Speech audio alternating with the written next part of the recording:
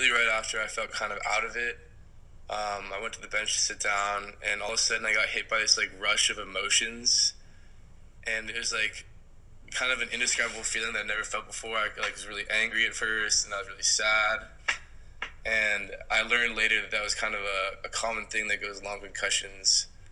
Um, but besides that, yeah, you kind of just feel out of it and like in a fog. That was those uh, experiences that I felt.